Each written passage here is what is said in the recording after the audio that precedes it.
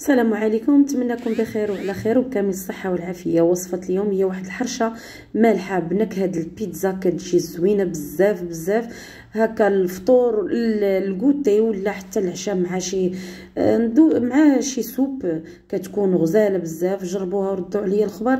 وإلا عجبكم الفيديو ما تنسونيش آه، كثروا لي ال partage وشاركوا الوصفة مع الأهل والأحباب. ويلا ندوزو. كندوزو بها أتاي العشية. آه، لهاد الوصفة غادي نبدأ بالحشوه هي الأولى. عاد ندوزو المقادير ديال الحرشة. الحشوه ديال هاد الحرشة غادي نحتاجو فيها بصلة مشنضه هادي.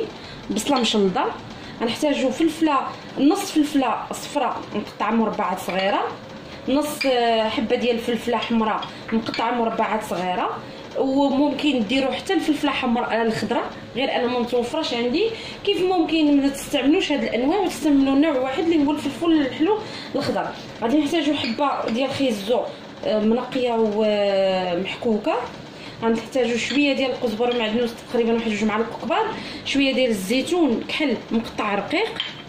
غنحتاجوا في العطرية شوية ديال الملحة شوية ديال الخرقوم شوية ديال البزار. شوية ديال السودانية اولا الحار على حسب الرغبة.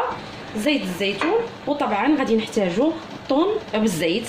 آه، ممكن تختاروا أي طون آه، كتفضلوه أو لا آه، طون موجدينه في البيت. المهم طون بالزيت. الطريقة غادي ناخذ واحد المقلة اللي غنشحر فيها هاد الحشوه ديالنا.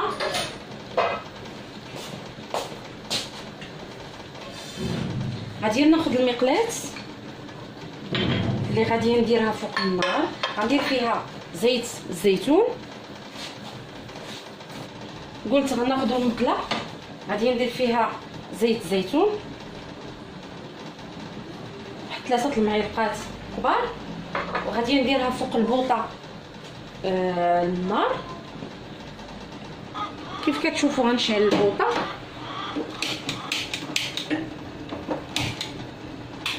غندير المقلة ديالنا. وغادي نرمي البصيلة.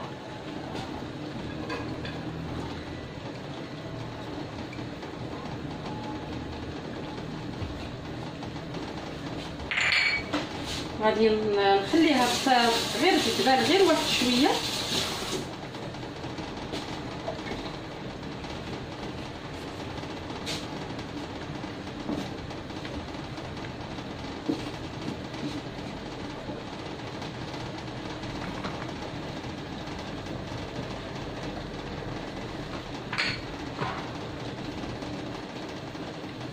غنخليها تشحر غير تطيح واحد شوية وغادي نضيف ليها الفلافل.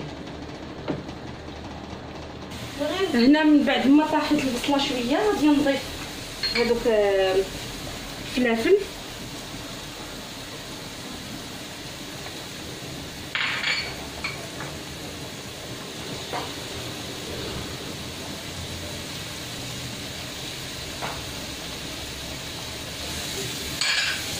خيزو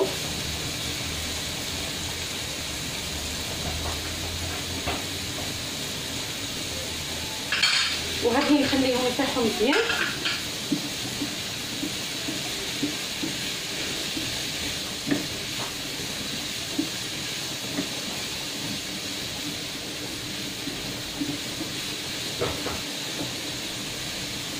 آه، دابا غادي نضيف البزار الخرقوم الملحة. وشوية ديال السودانية ولا الحار ممكن أنا غندير الهريسة غفرات نتوما ممكن ديروا الهريسة الجارية يعني الصلصة.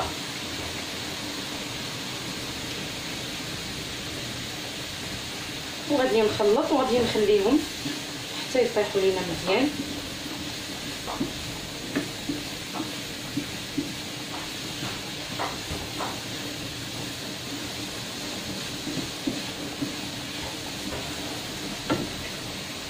ملي تشحرت لينا المكونات صافي غنطفي النار غادي نضيف هذاك الزيتون الأسود طفيت العافية.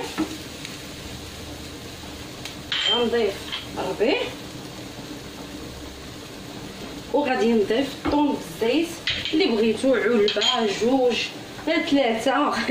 يعني نتوما واللي بغيتو. نتوما حسب الاختيار ديالكم.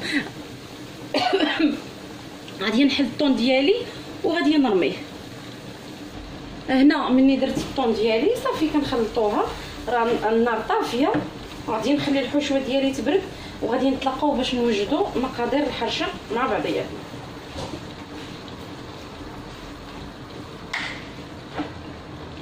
دابا غادي ندوزو نوجدو المقادير ديال السميده اللي غنحتاجو فيها.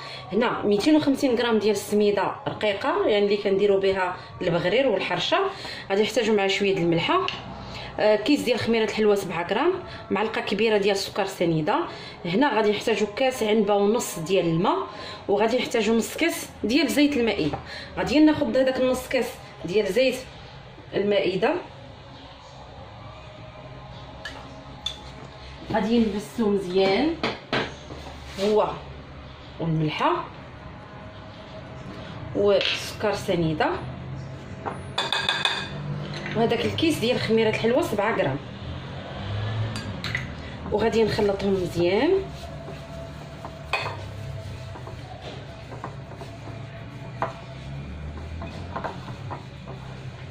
الا بغيتوا الحرشة تجيكم كبيرة ديروا نص كيلو ديال السميدة رقيقة وضاعفوا هاد المقادير. لا خليو غير معلقة كبيرة ديال السكر سنيدة الملحة كيس ديال خميرة الحلوى غير الماء اللي غادي نت صافي ها هي كيف كتشوفوا دابا غادي نعجنها بالماء.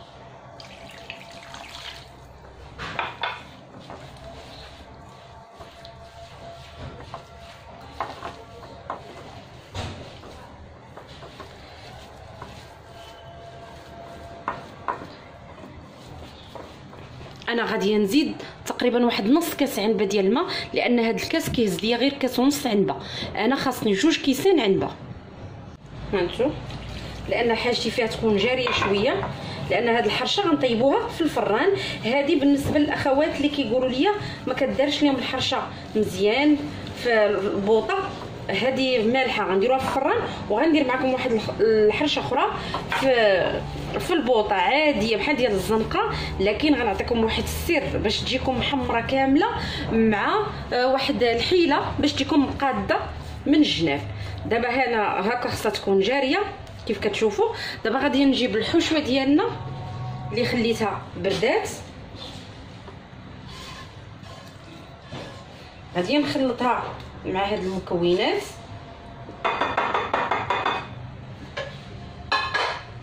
غادي نخلطهم غير بيديا نتوما عارفين عزيز عليا نلمس الحاجة بيديا كيف ما تعودتوا معايا. بحال هكا. صافي غادي نجيب المقلة الثقيلة ديالنا ديال الحرشة. غادي ندهنها بالزيت وغنرشها بالسميدة وغنفرغ فيها هاد الحريشة ديالنا. آه، كيف كتشوفوا حرشة مدوزة راسها. خاصها تكون جارية هكا كيف كتشوفوا صافي ها هي تخلطات كاملة. دابا غادي نجيب المقلة ديالي اللي غندهنها بالزيت ورشه بالسميده آه هنا من بعد ما دهنت المقلة رشيتها بالسميدة. آه كناخذ واحد الطويصة فيها الماء وغادي نبدأ آه نفزق يديا ونقرص هاد الحريشة. ونق... باش نقادها بحال هكا.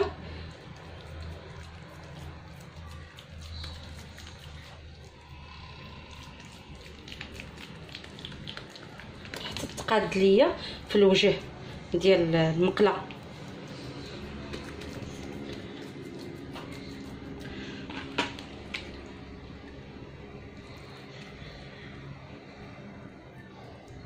بحال هكا. وغادي نجيب شوية ديال السميده رقيقة وغادي نرشها من الفوق وغادي ندخلوها للفران غناخذ السميده رقيقة وغادي نرش واحد شوية غير شوية باش تجيني حرشة حتى من الفوق.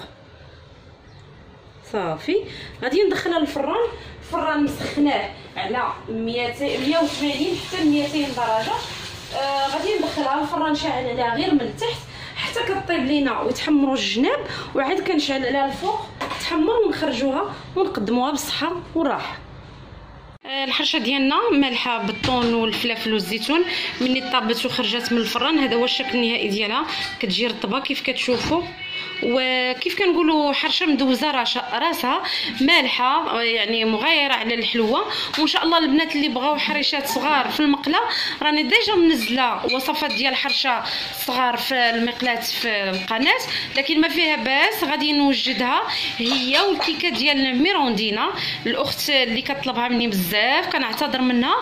وإن شاء الله غادي نوجدها لك هاد الأيام بحول الله وننزلها هذه هي الحرشة ديالنا مني طابت آه، اللي عجبتها الوصفة ديال اليوم ما تنساوش ديروا like الفيديو اشتركوا بقناتي قناة هوات أم العربي باش دائما توصلوا بكل جديد ديالي. غنقطع لكم الطريف تشوفوه من الداخل كيف كيجي. غادي نقطع لكم من الداخل تشوفوها كيف كتجي.